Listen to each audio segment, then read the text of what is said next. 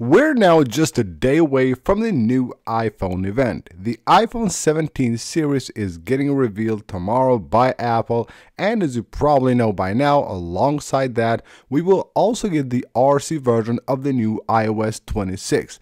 Whether you're on the dev beta or the public beta of iOS 26, tomorrow will be the day that Apple will release the RC version. So in this video, I will show you guys a few different things that I believe you must know about this and what you should do before actually trying to update your device to the new RC version which will be released tomorrow. Now, first of all, let's talk about the release. Now, as I said, it will be released tomorrow. That's what has happened the last few years, and most likely this will happen tomorrow as well.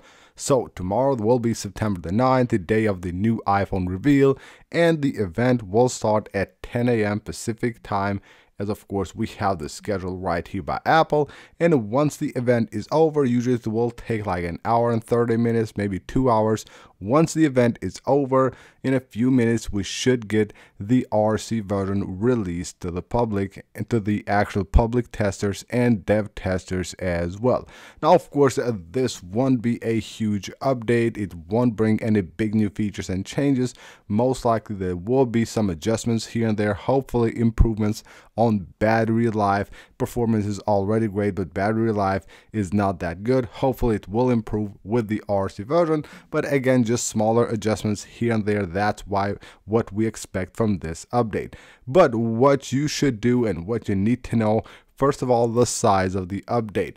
Now, one thing you probably have noticed while updating to iOS 26 betas is that the betas are actually really big. Now, they're around like 10 gigabytes, between 9 and 10 gigabytes. Every beta has been like that but this one will be probably at least double the size because once you update from a beta to the RC version, you're actually completely reinstalling iOS on your device, not just updating to a new version. That's why this update will be really big, so you need to make sure that you have enough free storage on your iPhone. So I'm expecting this update to be anywhere between 15 to 20 gigabytes on the devices that do support iOS 26. Of course, it will be different on different devices, but that's what I expect. So what you should do is make sure that you have enough free storage on your iPhone. So head on to your iPhone settings, go to the iPhone storage right here and take a look how much storage you have. Go ahead and clean some storage if you don't have free storage on your iPhone. And the easiest thing maybe you can do is just delete one of the apps that is taking a ton of space on your device, like Facebook right here. You can see it is 17 and a half gigabytes. That's all documents and data saved by the app. I can just go ahead, delete this, have 17 gigs of free storage. And of course once I'm done with the update I can go ahead and reinstall the app and it will be good to go. So make sure that you have at least like 25 free gigabytes on your device before trying to install the RC version. Now another thing you need to do is actually check your update settings. Now a lot of people have tested iOS 26 during the summer, but they're not actually planning to keep on installing the betas of iOS 26. Most likely very soon we will have the first iOS 26.1 beta.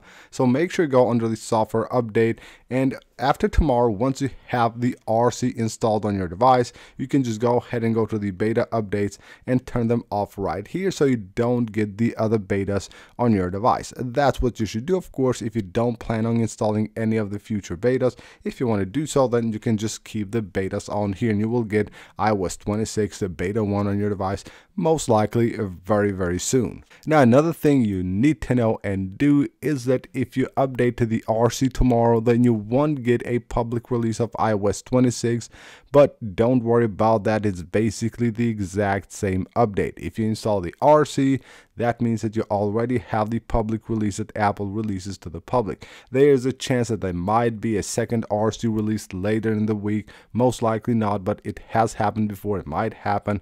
But again, you install the RC, you're good to go. I don't suggest you wait for the public release. But if you just want to do so, then you can just go ahead and right now turn off the betas. Go here, turn off the betas. That means that you won't get the RC version.